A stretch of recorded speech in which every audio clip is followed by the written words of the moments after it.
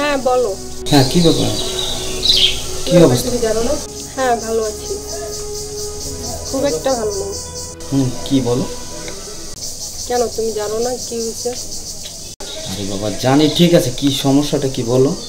তুমি জানো না আমার বাবা মা আমার বিয়ে ঠিক করে ফেলছে। তো? তো কি হয়েছে মানে? তুমি বোঝো না।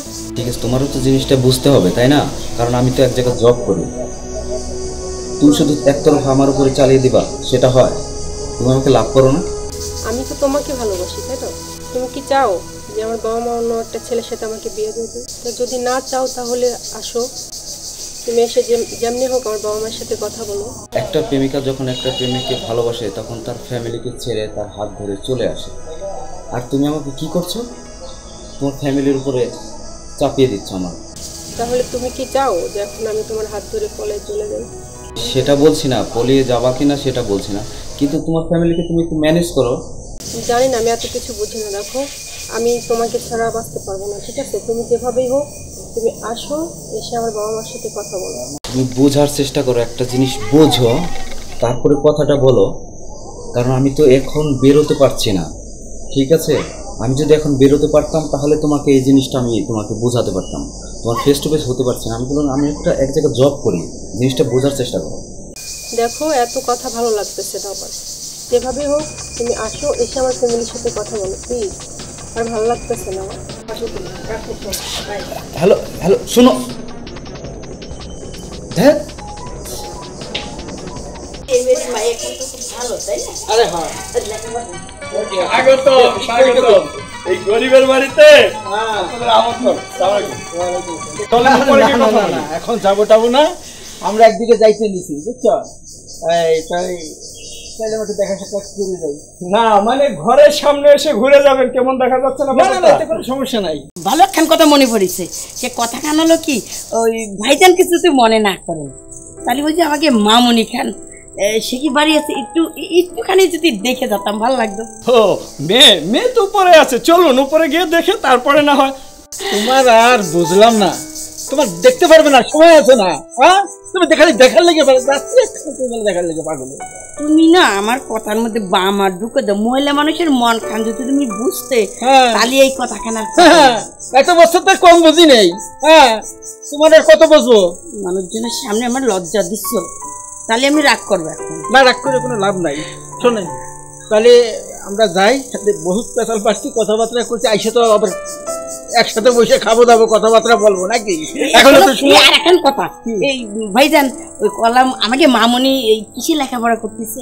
লেখাপড়ার কথা বলবেন না মেয়ে আমার ইন্টার পাস আরে সময় আছো তো তুমি খালি এই যা আছে সব জিজ্ঞেস করতে এই আমারে যদি একজনে জিজ্ঞেস করে যে আপা উনি গিলাম মাইয়ে দেখতি তারা লেখাপড়া কি? কত কথা জিজ্ঞেস করতে পারে না। আরে বাবা হাতে তো সময় আছে।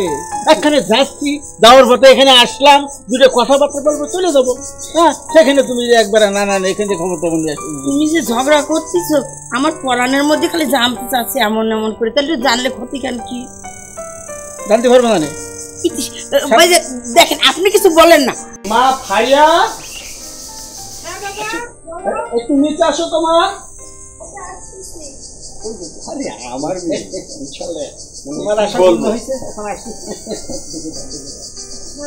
হ্যাঁ।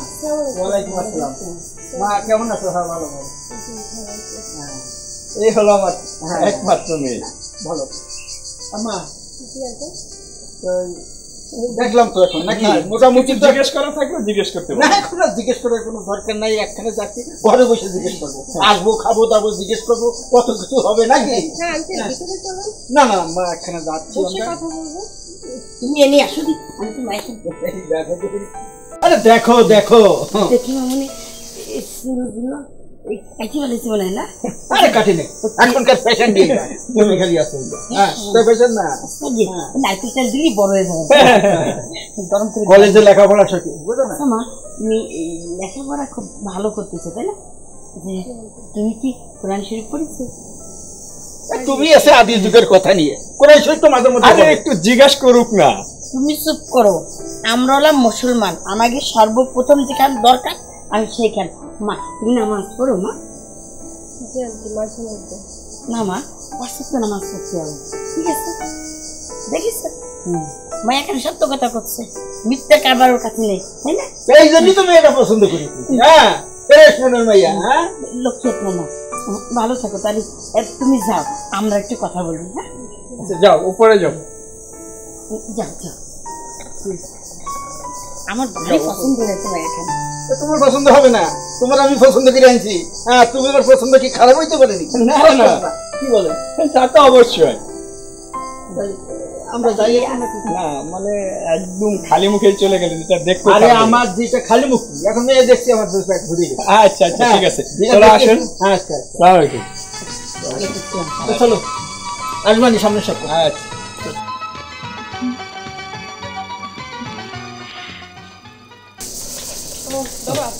কি কথা বল?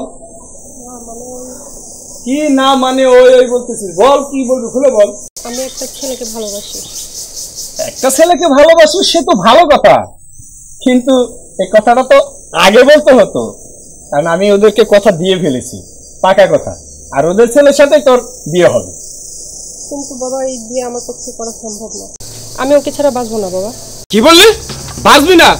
তোর বাঁচতে হবে। কারণ এটা আমার মান সম্মানের ব্যাপার। প্লিজ বাবা বোঝার চেষ্টা করো। আমি যেটা বলেছি সেটাই করতে হবে। আর আমার সিদ্ধান্ত চূড়ান্ত সিদ্ধান্ত। যা ঘরে যা। ঘরে চল চল।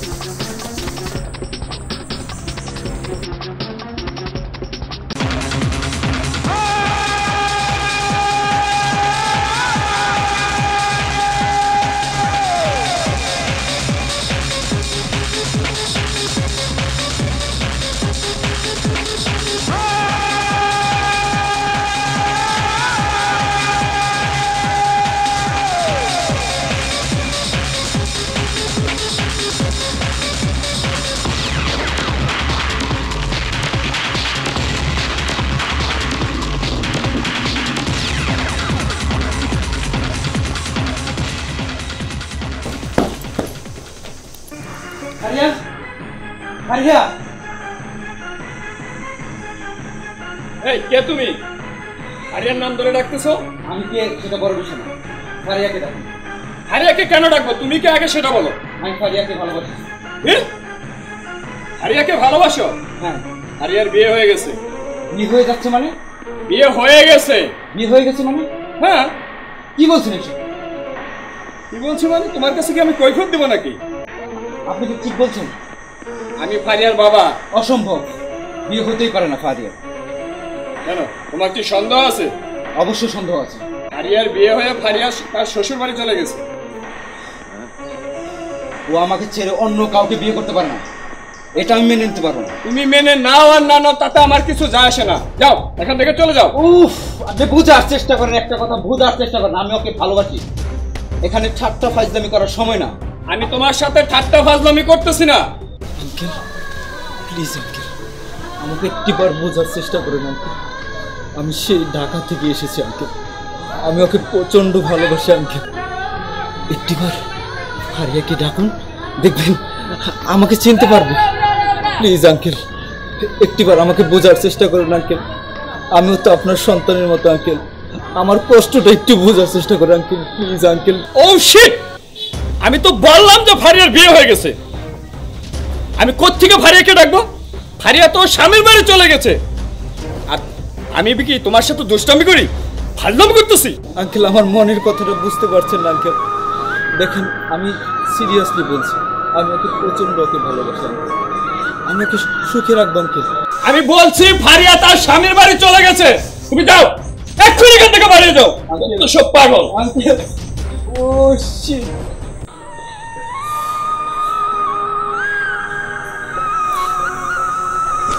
হে আল্লাহ।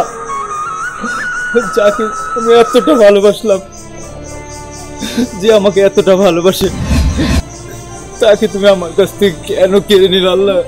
কেন কেড়ে নিলা? কেন কেড়ে নিল আল্লাহ? কেন কেড়ে নিল আমি এটা মেনে নিতে পারছি না। হে কোথা তুমি আমাকে হয় ফারিয়াকে দাও। না হয় পৃথিবী থেকে বিদায় পৃথিবী থেকে আমাকে নিয়ে যাও। পৃথিবী যাও ফারি আপু হ্যাঁ কি হয়েছে? কি হয়েছে বলো। আপু তুমি যে ভাইয়াটার সাথে কথা বলতো ওই ভাইয়াটাকে দেখেছি ওখানে পড়ে কান্না করতেছে বাসার সামনে। কোথায়? কোন দিকে? বাসার সামনে। কি বলছো এসব? কোন দিকে? হ্যাঁ আমাদের বাসার সামনে। তোমাদের বাসার সামনে? হ্যাঁ। কি বলছো এসব? কোন দিকে? আচ্ছা ঠিক আছে। তুমি যাও আমি আসতেছি।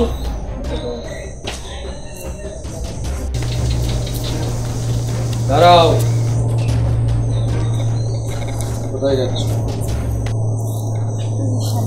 কেন? আমার বাড়ি থেকে বের হওয়ার আগে এই বাড়ির প্রতিটি মানুষের অনুমতি নিতে হবে। ভুলে যেও না, তুমি আমার বিবাহিতা স্ত্রী। আমার স্ত্রী কোথায় যাবে, কেন যাবে, কীভাবে যাবে, কার সাথে যাবে, সেটা ডিসাইড করবে এই পরিবারের মানুষ। সেটা ডিসাইড করবে এই পরিবারের লোকজন। তুমি ইচ্ছে করলেই এই বাড়ি থেকে বের হয়ে যেতে পারবা না। কারণ এটা তোমার বাবার বাড়ি না এটা তোমার স্বামীর বাড়ি।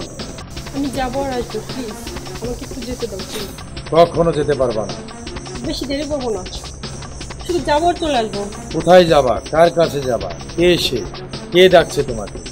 কেউ ডাকতেছে না। আমি সামনে যাব একটু কাজ হচ্ছে না তোমার কি এমন কাজ আমি আমার পরিবার ছাড়া তা আজও বুঝতে পারলাম না।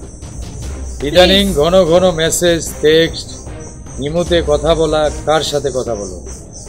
নিশ্চয়ই তোমার আগের কোনো প্রেমিকের সাথে? ভুলে যাও। বিয়ে করেছ যেহেতু সেহেতু সব কিছু তোমাকে ভুলে যেতে হবে। আর তুমি ইচ্ছে করলেও এই ধরনের কোনো কিছু মাইন্ডে নিয়ে আসতে পারবা না। আর তুমি যদি এই বাড়ি থেকে বের হয়ে যাও তাহলে সারা জীবনের জন্য তোমাকে বাড়ি থেকে বের হয়ে যেতে হবে।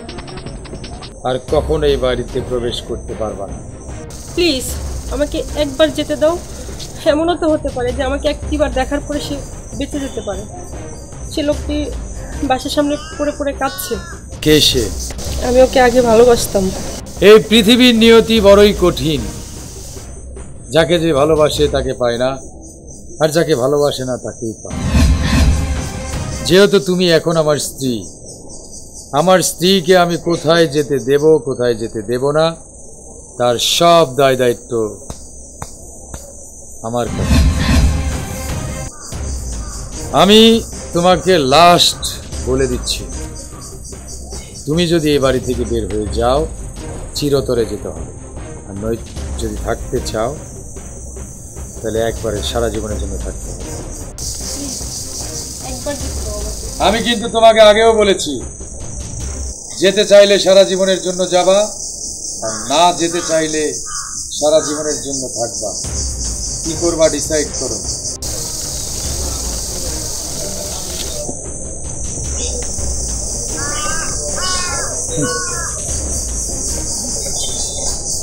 প্রেমিক love her.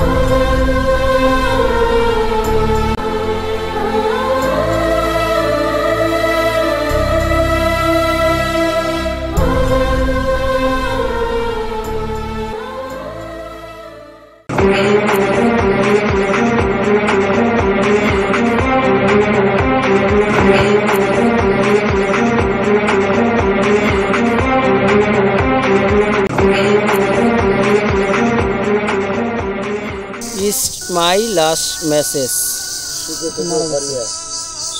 Suicide করছে স্যার। হ্যাঁ সুখে থেকেও পারিয়া তো সুসাইড করছে একটা প্রেমের জন্য। ভালোবাসতো মারা গেছে। স্যার আমরা